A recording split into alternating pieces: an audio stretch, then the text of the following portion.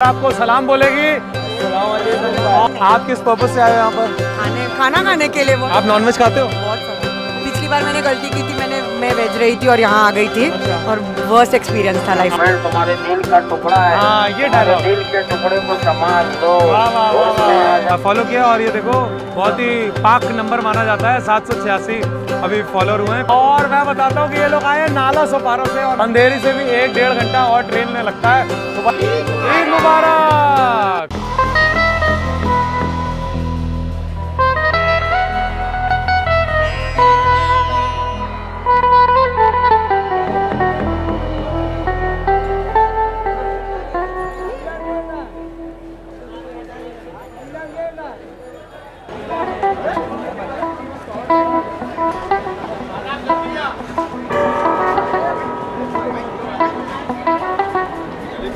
जी अब मैं मीनारा मस्जिद से अंदर की तरफ़ और आना शुरू हो रहा हूँ ताकि मैं एक्सप्लोर करूँ और आपको करा दूँ कि यहाँ पर कैसी कैसी और क्या क्या रौनक लगी हुई है। तो बहुत सारे फूडीज़ जो हैं वो यहाँ पर मुझे दिख रहे हैं मिल रहे हैं। बहुत अलग अलग जगह से आए हुए हैं और बहुत ही मज़ा आ रहा है ये मोहब्बत वाली ड्रिंक और ये शवरमा मुझे देख के बहुत ताजुब हो रहा है कि रमज़ान के महीने में ये अलग अलग तरह का शवरमा भी मिलता है। भाई वैसे नॉर्मल मिलता है ना? ये रमज़ान में स्पेशल मिलता है। कौन कौन से कौन कौन से तीन स्पेशल होते हैं? टिक्का पहाड़ी और मलाई। तो नॉर्मली मलाई मिलता है कि टिक्का मिलता है? मलाई मिलता है।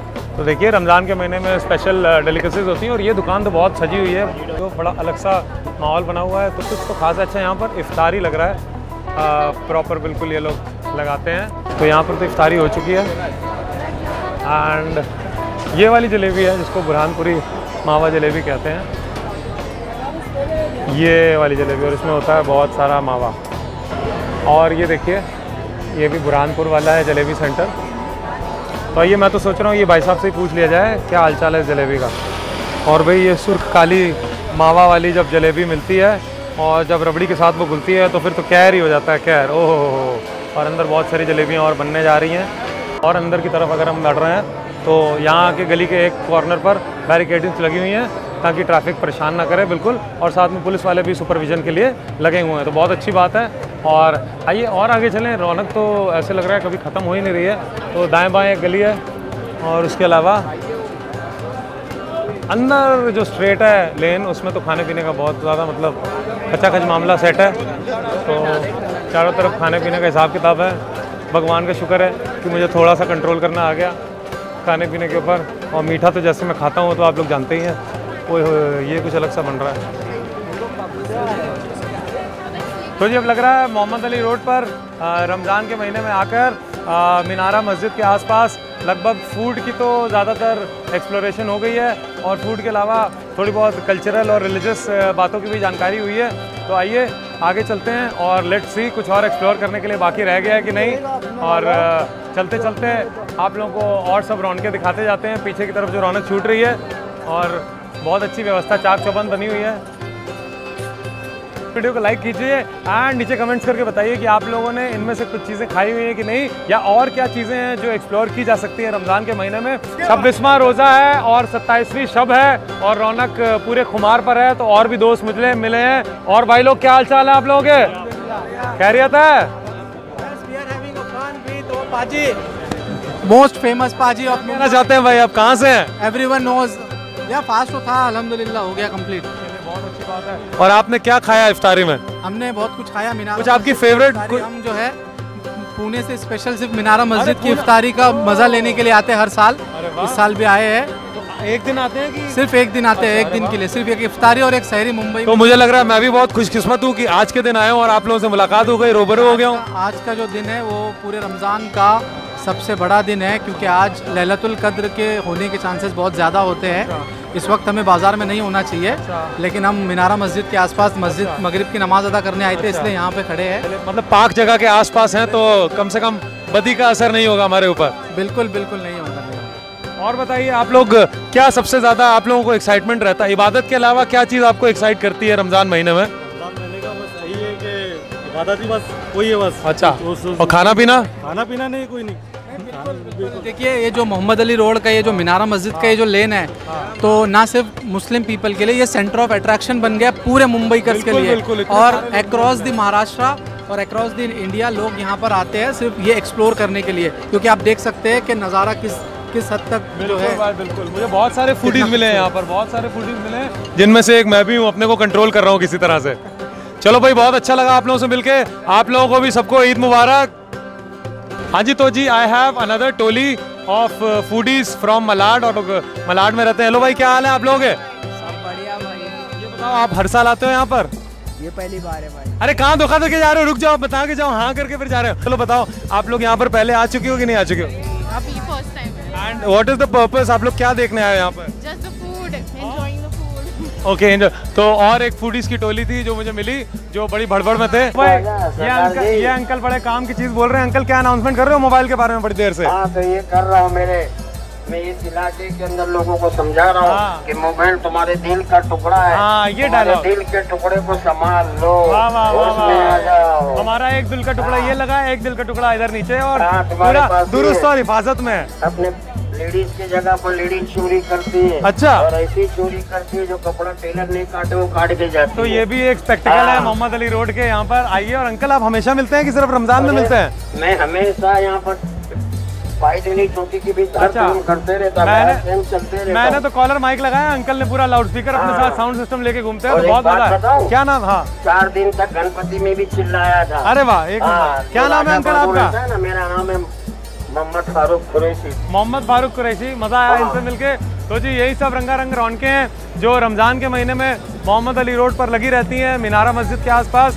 तो जी तो जी ये था रमज़ान का ईद का स्पेशल ब्लॉग जो मैंने आके शूट किया मोहम्मद अली रोड में मीनारा मस्जिद के आसपास। एंड आज था 26वां रोज़ा और 27वां शब और मुझे बहुत सारी इन्फॉर्मेशन जानकारी पता चली और बहुत सारे फूडीज मिले।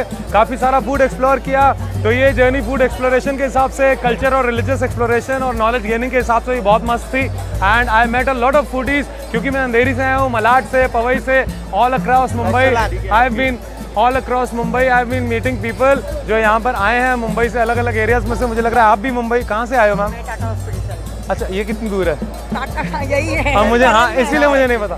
में। आप किस पर्पज से आए हो यहाँ पर? खाने खाना खाने के लिए आप नॉनवेज खाते हो? बहुत सारा।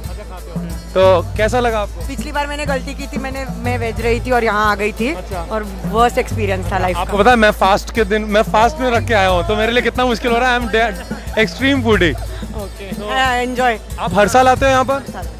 And how is your experience यहाँ का माहौल कैसा लगता है आपको? शॉपिंग इज़ ऑसम क्या शॉप करते हैं जूती चप्पल। ऑलवेज लुकिंग फॉरवर्ड ओके चलो I hope you people have had a great time and have a great time ahead as well for sure हाँ जी तो जी मेरी तरह और मेरे से और एक्सट्रीम लोग हैं। जो और दूर दूर मुंबई के एरिया से आए हैं तो ये जो पीछे दोस्तों की टोली है, एक बार आपको सलाम बोलेगी।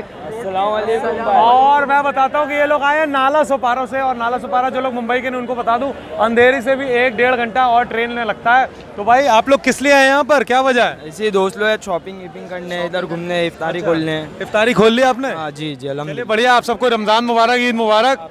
और आप हर साल आते हैं रोज आते हैं क्या रहता है आपका शेड्यूल हर साल रमज़ान में हर साल।